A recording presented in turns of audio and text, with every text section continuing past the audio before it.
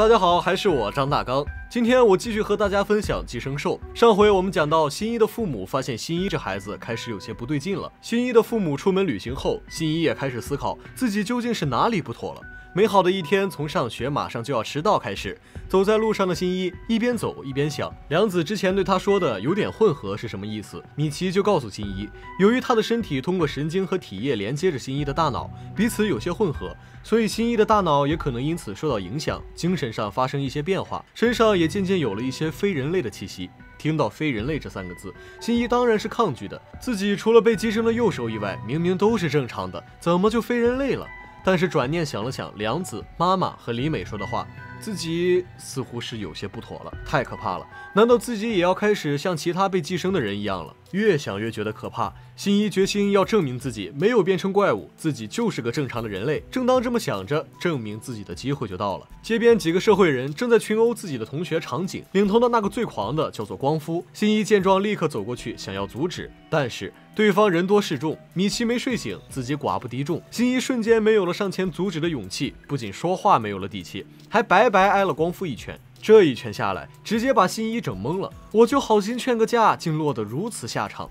就在这时，米奇说的话又在新一耳边响起：人类是具有献身精神的，即使是损害自己的利益，也要为别人做一些事情。这就是人类和寄生生物的不同。心一想，我是个正常人类，有一颗正常人的心，我不能坐视不理、袖手旁观。然后就再次出声阻止那群社会人，结果自己被打得更惨了。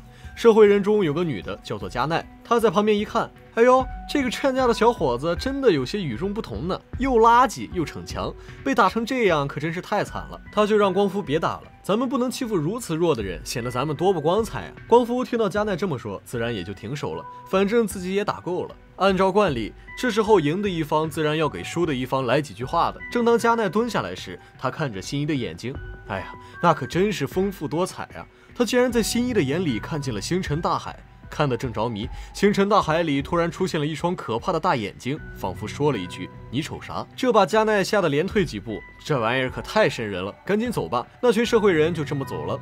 到了学校，李美发现新一一脸是伤，就问到底发生了什么。新一不想让李美担心，就吞吞吐吐着没说。我想吧，关键原因还是自己没打赢。他要是赢了，就不会这么吞吞吐吐了。在这时候，来了一群人，领头的叫上条，那个直接向新一走过来说：“听说你被人揍了，以后要是他们再这样，你就来告诉我。”这就很痛，好吧？简直就是在当众被揭伤疤。不过咱们男主无所谓啊。嗯嗯，好的好的。有人主动说要保护我，就算自己喜欢的李美就在旁边，那又如何？面子什么的不要也罢。放学之后，新一和李美愉快的一起回家。突然有个女生走出来，举起相机，咔嚓给新一拍了张照。新一定睛一看，这不是早上揍我的那群人里的那个女的吗？真是狭路相逢冤家路窄啊！加奈开口第一句就是：“原来你有女朋友啊！”语气中竟然有几分失望。然后他就给新一说：“你早上完全都不知道你保护的那个人是什么人，在背后做了什么勾当，你就护着他。”新一直接理都不想理加奈，不等旁边一脸懵的李美问清楚发生了什么，拉起李美就走了。但是躲在一旁偷看的光夫，也是早上揍新一的那个领头社会人，正好就看到了这一幕。想到加奈居然还来找新一，他心里瞬间就不爽了，立马找人掳走了新一喜欢的李美。新一看着李美被掳走，自然是要去英雄救美。他找到了掳走李美的那群人，也就是光夫他们，还没开口说上几句话，就被光夫狠狠地打倒在地。这种时候，米奇自然是要出来帮手的，毕竟他依附着新一生存。但是新一竟然十分硬气地说不要米奇帮忙。米奇告诉新一，他和对方不仅力量悬殊，还敌众我寡，形势非常不利，不如避免这场毫无胜算的斗争。新一听到这话，当然是不屑一顾的。一方面，对方可是抓住了李美，面对自己喜欢的人被人抓住，怎么可能坐视不理？另一方面，为了证明自己仍是一个不同于猫猫狗狗、寄生兽的不会退缩的人类，他更加不能就这么离开。虽然想是这么想，但是新一肯定是打不过光夫的。米奇见新一被打倒在地，难以还击，立刻来了个变身，想要帮助新一。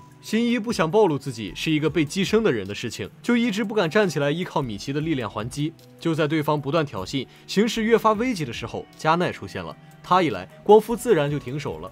这时候，上条、长景他们也带着一大群人来了，双方当然就是不可避免的一场恶战了。当然，新一和李美也就因此脱险了。这时候，有一个寄生在男人身上的寄生兽开始疯狂的寻找女性作为他新的寄生对象。原来，他原本寄生在一个女性身上，不过那个女性因为一场交通意外死了，为了保命，他就转移到了旁边的那个男的身上。不过，由于男女生理结构上的差异，使得他转移寄生在男性身上后无法很好的适应。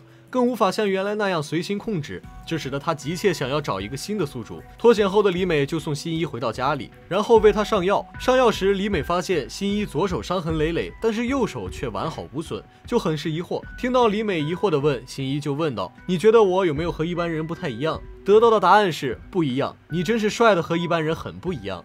这个答案真的是猝不及防，然后二人就你侬我侬，情意绵绵了一会儿。由于李美坚持要自己回家去，就在傍晚时离开了。送走李美，就在新一回怼米奇的虎狼之词时，加奈突然在新一背后出现。他说他是来道歉的。就在他和新一握手言和时，突然有了一丝异样。新一赶紧慌张地进了自己房间。回到房间后，米奇提醒新一最好还是少跟加奈接触，因为他似乎也能感受到寄生兽才能感受到的波长，不同于寻常的人类。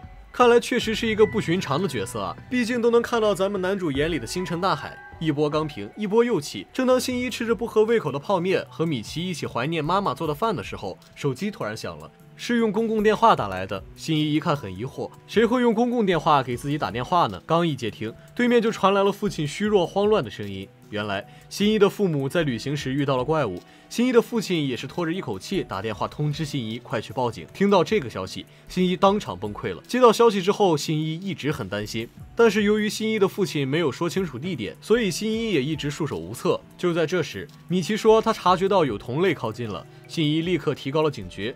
对方越靠越近，竟然直接用钥匙打开了新一家的门。音乐声响起，对方一步一步靠近，竟然是新一的母亲。不应该说是已经被寄生的新一的母亲。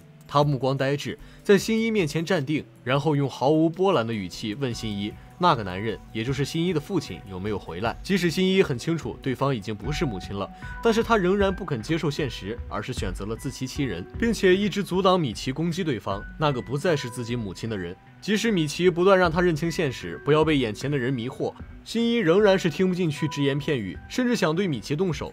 就在新一开启回忆模式，提到以前母亲的种种关心和保护之时，对方直接变身，轻而易举地刺穿了新一的心脏。可能那个寄生兽受不了有人在他面前一直啰啰嗦嗦吧。我们的主角就这样倒下了，对手根本不费吹灰之力，只是因为他用了新一母亲的身体，新一的心脏直接被贯穿了。本来是必领盒饭无疑的了，但是米奇及时采取了相当有效的救助措施。总之，过程非常复杂且高级。等新一醒来的时候，他的伤口已经完全被溶解修复了。他知道一定是米奇救了他。就在他为母亲的事情痛苦的时候，医院再一次来了电话。为什么说是再一次呢？因为之前医院已经打过无数次电话了，只是那个时候新一昏迷了，没能接听。医院来电话告诉了新一他父亲的状况。得知父亲的消息后，新一十分激动，立刻准备去医院看望父亲。当然，中间还遇见了李美和一个带路的女孩真树子。这些剧情可以直接跳过。意识到父亲可能随时被那个寄生兽找到而遇到危险，新一赶紧来到医院。在这之前，警方来到医院问了新一父亲相关情况，并且告诉他他的妻子尚在人世。但是，一切发生的都太不可思议了。所以，新一的父亲也开始逃避现实。为了让新一好好休息，新一的父亲提议新一去三百米外的宾馆休息。虽然三百米并不远，但是如果距离三百米，米奇并不能十分清晰地感受到其他寄生兽的踪迹了。但是，新一还是去了宾馆，而那家宾馆就是真树子家经营的。米奇终于苏醒过来了。为了救新一，他的身体发生了变化，以后一天会有四个小时陷入深度睡眠中，而且是不同于之前的睡眠。现在他如果处于沉睡期间，就再也感觉不到任何信息了。为了新一的安全，米奇还是选择违背常规，把自己这个弱点暴露了出来。但是，即使新一和寄生兽之间有着血海深仇，新一还是没有把米奇当做敌人，毕竟米奇曾经救了自己。为了提高安全性，新一每天在医院外面守着，并且在米奇沉睡的时间提高警惕，时刻保证父亲的安全。当那个为自己带路的女孩真树子刚来给新一打招呼时，米奇提示他，同类已经在三百米外的海边出现。没等真树子把路线说清楚，新一就跑了出去。为了提醒新一，如果一直走的话会遇上防波堤，真树就一直追着新一，想给他说清楚。